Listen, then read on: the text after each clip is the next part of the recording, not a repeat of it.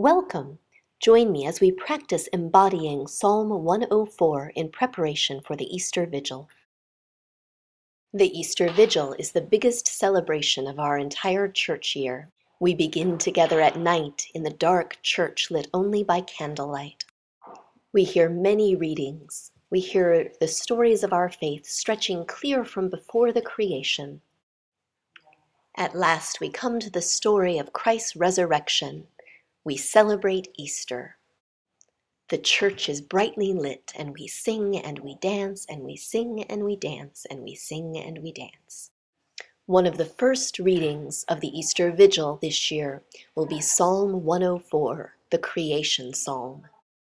Some people will chant the verses of the psalm, others will create a human sculpture to bring the psalm to life. This video will help you practice at home as you prepare to help us bring Psalm 104 to life. Practice at home in two ways. First, close your eyes, listen to the psalm, and picture or imagine your movement.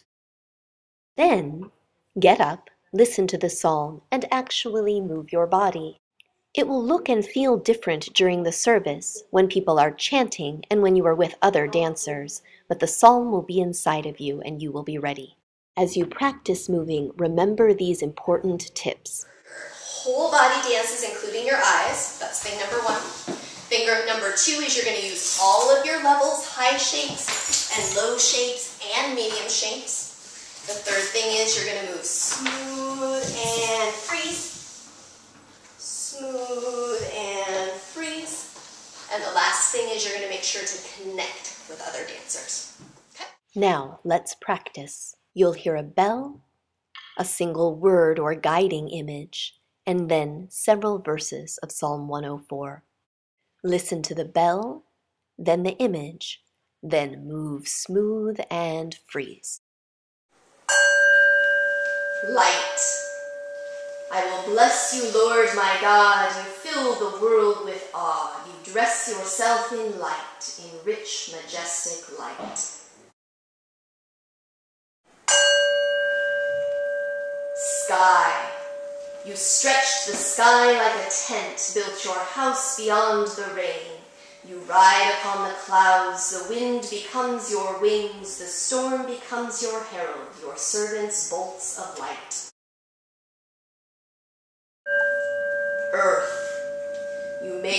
Earth solid, fixed it for good. You made the sea a cloak, covering hills and all. At your command the sea fled your thunder. It swept over mountains, down the valleys to its place. You set its limits, never to drown the earth again.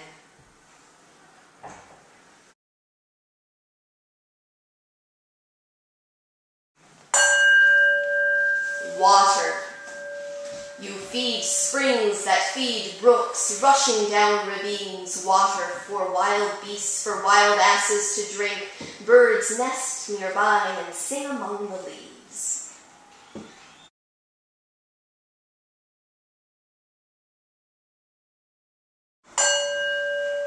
Growth. You drench the hills with rain from high heaven. You nourish the earth with what you create. You make grass grow for cattle, make plants grow for people. You bring food to eat from the earth, and wine to warm the heart, oil to glisten on faces, and bread for bodily strength.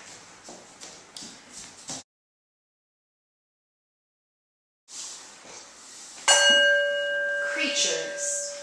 In Lebanon, God planted trees, the flourishing cedar, sparrows nest in the branches, the stork in treetops, high crags for wild goats, rock holes for badgers.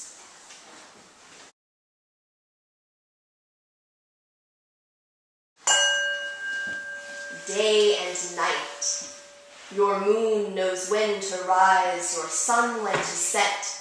Your darkness brings on night when wild beasts prowl.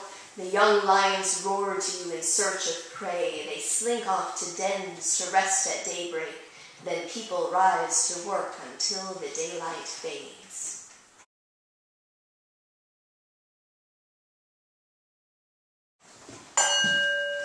Create. God, how fertile your genius, you shape each thing, you fill the world with what you do. I watch the sea, wide and deep, filled with fish large and small, with ships that ply their trade, and your own toy, Leviathan.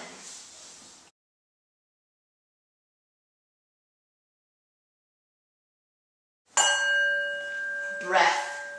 All look to you for food when they hunger, you provide it and they feed.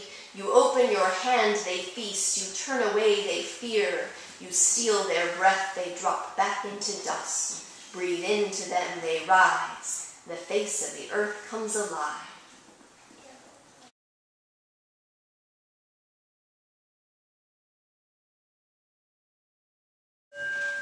Joy. Let God's glory endure and the Lord delight in creating. One look from God, earth quivers, one touch and mountains erupt. I will sing to my God, make music for the Lord as long as I live. Let my song give joy to God, who is a joy to me. I will bless you, Lord. Hallelujah.